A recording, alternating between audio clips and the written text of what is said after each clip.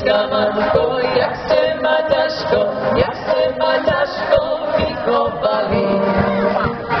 Polska matko, jak się ma ciężko, jak się ma